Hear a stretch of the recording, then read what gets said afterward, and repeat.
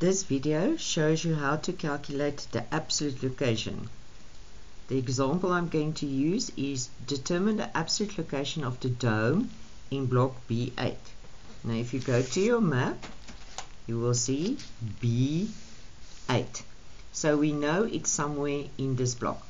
Now what is important, when we calculate the absolute location, we always use the top left hand corner to determine which line is our latitudinal line and which line is our longitudinal line.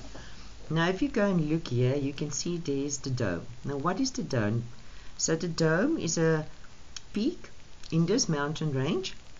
And what map symbol do we associate with the dome? And you can look and you will see there is a trig beacon. So we need to use that trig beacon and not the name the dome for our calculations. As I said to you in the presentation, you need eight pieces of information to calculate absolute location. The first one is degree, minutes and seconds south and the other four pieces of information is degree, minutes, seconds, east. Now immediately we know it's south and east. Why? Because South Africa is in the southern hemisphere and we are also in the eastern hemisphere. Another thing, we always indicate the latitude first, followed by the longitude. I also said to you, six pieces of information you read off from the map. So degree in minutes and degree in minutes, south and east, those are plain simple map reading skills. We only need to calculate the seconds. So let's have a look. If you look, again there's the dome I said to you the top left hand corner is always used as our reference corner to determine the line of latitude and longitude we're working. So this is the line of latitude that we're working with. Now what line of latitude is that? You follow it till the edge of your map and you can see that's 34 degrees. This will be 34 degrees 1 minute 2 minutes 3 minutes 4 minutes etc so for the dome, that line we're going to use and you will see it's 34 degrees one minute. So we can already go and say 34 degrees at one minute. Now for longitude, there's the dome, there's our reference corner. So this is the line of latitude. So I need to go and determine what is this line of latitude. If you look there, this line is 18 degrees 45 minutes you can see there's printed 50 so this will be 46 47 48 49 50 51 52 so this reference line of longitude is 18 degrees 52 minutes. And we can already go and write it down 80 degrees 52 minutes. The only calculations we need to do, do is to determine what are the seconds. Now I've given you the following formula in the textbook is distance over total distance multiplied by 60 seconds over 1. Now let me first, this is, this is the first method. There are two methods that we can calculate absolute location. So distance over total distance multiplied by 60 seconds over 1. Where do I get that? So what we're going to do is we're going to take the distance from this reference line of longitude, we're going to measure it, and we're going to put it over the total distance between two consecutive lines of latitude. Now if you take a ruler and you measure, measure and people this is the standard distance. On any topographical map, you will see the distance between two lines of latitude is 37 millimeters. And then what we need to do is we need to measure then from there to there what's the distance to get to the dome. Now if you do this, you will see that it's 32 and a half millimeters. I'm just going to zoom in a bit.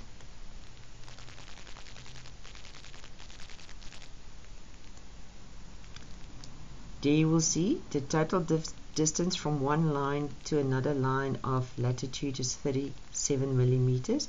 And if you look there at the trig beacon that represents the dome we always use the middle of a map symbol and you will see it falls between 32 and 33 millimeters. So I'm going to use 32 and a half millimeters. So getting back to this formula the distance that I measured is 32.5 millimeters what is the total distance 37 millimeters now where do I get multiplied by the 60 seconds over 1? 1 degree of latitude is 60 minutes. 1 minute. So this total distance here represents 1 minute and 1 minute is 60 seconds. That's where we get it. So this is the latitudinal calculation. Now if I do this and I'm going to take my very large calculator so we set 32.5 divided by the total distance is 37 and then we multiply it by 60 seconds and you will see is 52.7 seconds so my answer here is 52.7 seconds but we don't indicate seconds usually as a decimal so we're going to round it off to 53 seconds we followed a similar method to calculate longitude. The same formula. But what we need to do now is we need to go and measure the distance between two lines of longitude. You will see the total distance between two lines of longitude is exactly there, 31 millimeters. And the distance from this line to the dome you will see is 25 millimeters. So for longitude the distance measured is 25 millimeters. The total distance is 31 millimeters and again to change this into seconds we multiply by 60 over 1 25 divided by 31 multiplied by 60 over 1 gives me 48,38 so it gives me 48,38 seconds.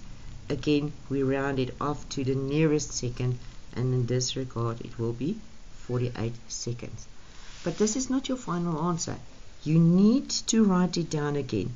So you can see we read off it's 34 degrees 1 minute and now we've calculated 53 seconds south and 18 degrees 52 minutes and we've calculated 48 seconds east it's very important to show all your calculations and that you also indicate all the symbols because you're going to lose marks if you do not indicate all your calculations and use the correct symbols. I just need to emphasize here where students get confused. If you measure in this direction, you measure parallel to a line of longitude. But remember, think which line you start off. You start with a line of latitude and we measure in a southwards direction. South always indicates that is latitude. If we measure from here to here the longitudinal position, we start at a line of longitude. It's parallel to latitude, but remember we start and we measure in an easterly direction. And east means it's a line of longitude. So please be careful that you do not confuse yourself between which measurement is latitude and which measurement is longitude. Now the second method that we can calculate um, absolute location is where we use millimeters and we calculate the length of one millimeter. So the second method that we can employ, I'm just waiting for this thing to focus again. there we go. So the second method is where we say 37 millimeters equals 60 seconds. And this is for latitude. Can I do that? Yes because I've measured from this line to that line so it's between two lines of latitude the total distance is 37 millimeters. Between two lines of longitude the total distance is 31 millimeters. So for longitude I can then say 31 millimeters equals 60 seconds. If we measure we we usually use millimeters so to get 37 millimeters to 1 millimeter I divide by 37 what I do in the left I do on the right hand side. And if you do this so this will be 1 millimeter equals 60 divided by 37 and you will see sorry let me redo that 60 divided by 37 and you will see it gives you 1,62162 and in this case work with two decimal values. So I can now say 1 millimeters 1,62 seconds. Exactly the same for longitude. 30 millimeter 31 millimeters divided by 31 millimeters. What I do on the left I do on the right. And if I now take 60 divided by 31 I get 1,94 so 60 divided by 31 gives me 1,935 I round it off to 1,94 seconds. So in the second method you take 1 millimeter and you calculate how much it presents in seconds for both latitude and longitude. Now you've measured and I will show you again from the dome latitudinal measurements.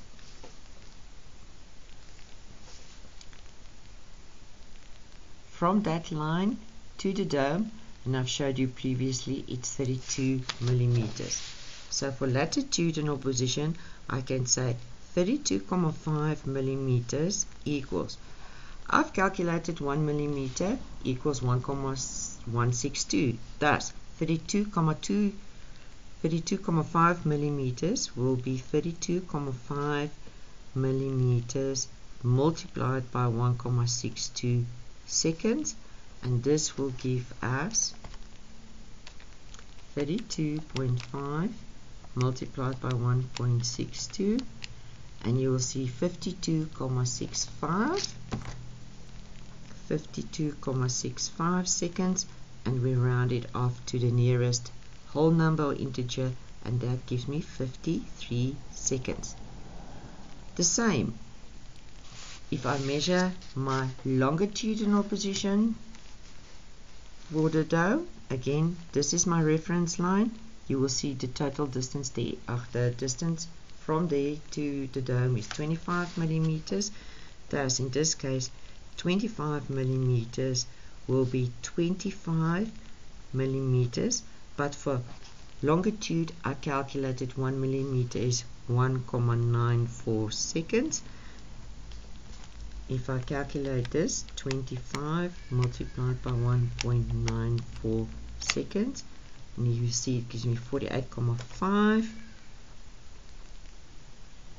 and we round it off to 49 seconds.